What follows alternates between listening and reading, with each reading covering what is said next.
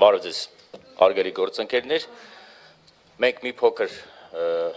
բացման խոսք ասենք ու հնարավորություն կտանք ձեզ հարցեր տալու։ Ես իմ կողմից ուզում եմ ասեմ եւ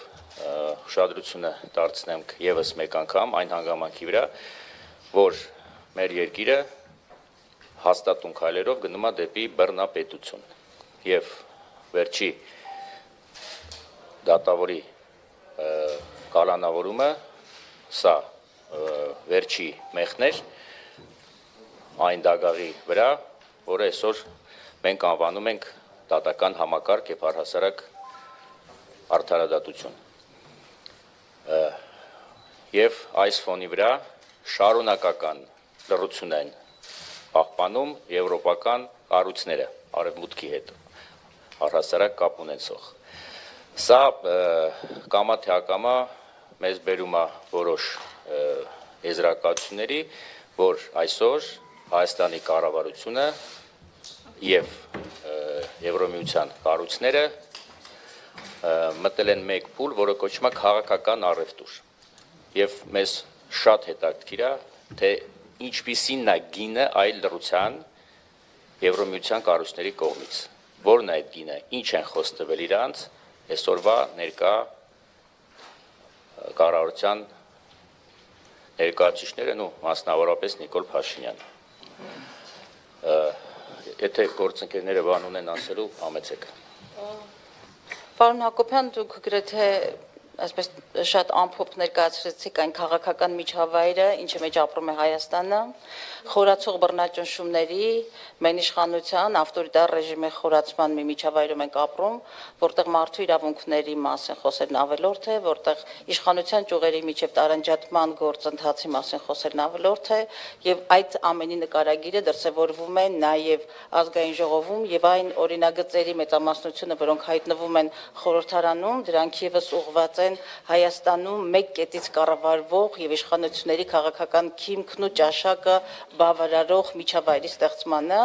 Ես վստահ եմ հարցեր կլինեն, մենք հարցերով կպատասխանենք, բայց այս համակարգի, այսպես ասեմ, զոհերից մեկը այստեղ մեր կողքին նստած է եւ մեր շատ գործընկերներ, Հայաստան Դաշինքի падգամավորներ բարեսբուն իմաստով խոշտանգման էին ենթարկվում, ես նկատի ունեմ իրենց կյանքի իրավունքը, նույնիսկ падգամավորական մանդատի անձեռնանխելիության նկատմամբ ոտնձգությունները եւ այս ամենը կատարվում է մեր հասարակության մեջ, մեր բոլորի աչքի առջև եւ նույնիսկ այս ամենից հետո և, մենք մեր գործընկերները եւ նաեւ մեր հասարակությունը չի արժանանում լսելու այն ներողության, որը մեղանչումների առնչությամբ, որոնք կատարվում են Հայաստանում սահմանադրական կարգի, մարդու իրավունքների, ապրելու եւ ազատության այսպես ճակերտավոր ժողովրդավարության կոնտեքստում։ Ես վստահ եմ, որ պարոն Չարչյանը որպես այս մտնոլորտը ապրած մարդ շատ ավելի ավելի լավ կխոսի այս մասին, բայց միգուցե անցնենք հարցը պատասխանին։ Հարվածունությամբ խնդրեմ։ Տիկին Գալստյան հարցս ձեզ եմ ուղում հանրակրթության, ես էստեղ եմ։ Հանրակրթության մասին օրենքը երբ քննարկվում էր, դուք եւ Սիսա Գաբրելյանը ինչ որ բանավեճ ունեցաք եւ երեք էլ Սիսա Գաբրելյանը ձեզ անընդհատ թիրախավորում էր։ Սա ինչի հետ եք դուք կապում արդյոք նրա հետ, որ դուք փաստաթղթերով բացահայտեցիք, որ Արթուր Մանուկյանը նախկին քպական падգամավոր իր կենսագրության մեջ ինչ որ փոփոխություններ է կատարել։ Ինչով կպայմանավորեք թիրախավորումը։ Ես այս Եսա կբացատրեմ սուտ այն հանգամանքով, որ սուտը մանիպուլյացիան եւ ուրացումը ԿՊ-ական ձեռագիր է։ 3 տարի նրանք Հայաստանը կառավարում են ստով, մանիպուլյացիաներով, անցյալի ուրացումով եւ այս ատելության մտնոլորտը, որով որի մեջ հայտնվել է հասարակությունը զուտ այս 3 տարվա, այսպես ասեմ, ապրանքը չի նրանք հասարակությանը ատելությամբ անցյալի մերժումով եւ Սրանտ Մաթեոսյանի խոսքով պիտի ասեն, որ նրանք հայրասպանության հասնող ուրացումի են հասել։ Այո, միգուցե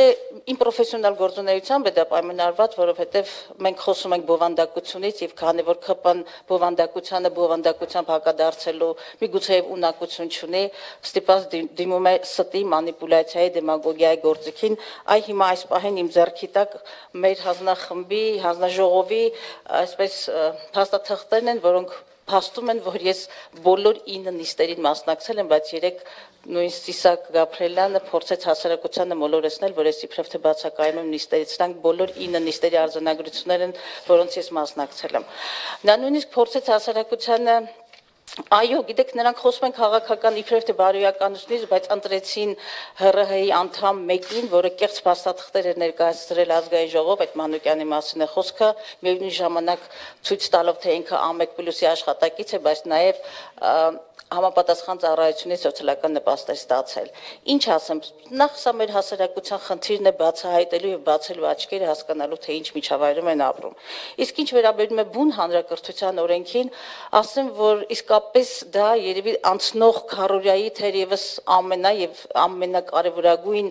օրենքներից մեկն էր, որը ցավոք սրտի դակեց քաղաքական մեծամասնությունը եւ այս մասին չեմ դադարի ես ասելու, որ մենք ինչպես նրանք վաղուց այսպես թիրախավորել էին դպրոցը հանրակրթությունը քանդելու բացարձակապես նոր այսպես օրինագիծ բերեցին, որը երեք ընդունվեց դպրոցում ըստ էության ամբողջ այդ օրինագծի նպատակը հակառակ հիմնավորումներին թե դա ուղղված էր բարեփոխումներին, կրթության կրթության որակին եւ բովանդակությանը, բացարձակապես այդ ամենի հետ առնչություն չուներ եւ այդ նախագծի միակ նպատակը դպրոցի կառավարման կենտրոնացումն է, այսուհետեւ բոլոր տնօրենները պիտի նշանակվեն միայն լիազոր պետական մարմնի կողմից եւ նաեւ ֆինանսական միջոցների կենտրոնացումը եւ նաեւ այսպես մի նորմով նրանք իրավունք ստացան ստեղծել համապատասխան իրավաբանական անձանց պատվիրակելու իրականացնելու ֆինանսների կենտրոնացում խիստ կոռուպցիոն ռիսկերով եւ նաեւ դպրոցում տնօրենների, պաշտոնների միան միան այսպես նշանակում ժողովրդավարական մոդելից սա նահանջել եւ քանի որ բովանդակային առումով ինձ այսպես ասեմ հակադարձելու բան չունեին, հավանաբար դիմեցին մանիպուլյացիաներին, ես վստահ եմ վաղուց մեր հասարակությունը մերկացրել է այդ ստի եւ դեմագոգիայի այդ ձեռագիրը։ Իսկ ինչ ես չեմ ուզում շատ մանրանալ այդ թեմայի մեջ, որովհետեւ շատ ավելի կարեւոր է այն, որ այսօր նպատակը ուղղված արշավանք է ազգային դպրոցի նկատմամբ եւ այն ուժեղացնելու, ամրացնելու բովանդակային փոփոխություններով հարստացնելու փոխարեն այս կառավարող ուժը ինչ որ պատվերների շրջանակներում փորձում եք հանդել այն ինչ ունենք, երբ որ կարելի էր պարզապես բարեկարգել եւ իմ ամբողջ առարկությունը եւ մեր խմբակցության կայանում է նրանում որ երբ որ դուք փորձում եք գործադրել դպրոցի կառավարման նոր մոդել շատ ավելի ճիշտ եւ արդարացված պիտի լիներ եթե գոնե որևէ պիլոտային ծրագրով այդ կառավարման այդ մոդելը փորձարկվեր ինչը չեն արել մի խոսքով չեմ ուզում շատ մանրանալ, վստահ եմ, որ այլ հարցեր եւս կլինեն, մանավանդ որ այս քարորիայում դարձյալ ժողովրդավարության եւ թափանցիկության մեղանչման մեկ այլ փաստ եւս արձանագրեցինք, սա ԲԴԽ-ում որոշումներ կայացնելու մեխանիզմին է վերաբերում։ Դրան կանդրադառնան միգուցե իմ գործընկերները։